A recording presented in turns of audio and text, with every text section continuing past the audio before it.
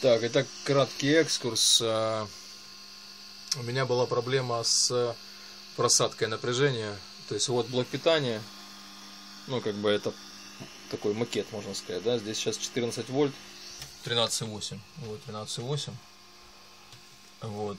И проблема была в том, что при нагрузке, вот с ЕСу даже, там 50 ватт я давал, просадка была порядка 2 вольт, то есть э, с 13-14 вольт до 12 падало напряжение. Я думал, что врет э, мой цифровой мультиметр. Я подключил вот стрелочный, военная такая головка. Вот. И происход... тем более трансформатор отличный, 400 ваттный. Э, значит, напряжение на входе, вернее на выходе изначально, да, было 14 вольт. И когда я по этой линии, как видите, она не такая уж большая, где-то, ну там, не знаю, около метра. Э, уже здесь, в этой точке, в этой точке, буквально, просадка уже была на, при нажатии на тангенту. Я вот нажимал, и просадка была существенно около 2 вольт. Естественно, э, на усилителе мощности на моем вот этом KL203, естественно, еще хуже были э, результаты. Вот. И сегодня я нашел причину. Она оказалась довольно банальная. Эта причина это предохранители. В этой цепи стояли предохранители на плюс и на минус. Вот, как видим, теперь их больше нет. Я запаял, полностью взял, залудил и запаял эти провода. Термоусадку поставил. Здесь тоже все пропаял.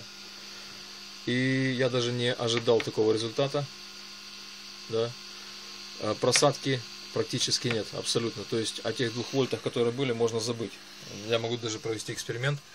Вот, допустим, а, значит, сейчас 13,8 а, при нажатии на передачу, то есть 50 вольт на максимум 50 ватт, мы видим 13,6. 13,6. Вот. То есть 0,2 вольта получается где-то. Это отлично. Вот я нажимаю на передачу. То есть нет тех ужасных показаний, какие были. И что я могу сказать? Если у вас стоят предохранители в домашних условиях, да, убирайте их, либо пропаивайте, потому что в любом случае они дают просадку. Вот, тем более блок питания здесь на микросхеме. Ну, опять же, это макетная плата. Все ужасно выглядит. Оно не будет так выглядеть, конечно, безусловно.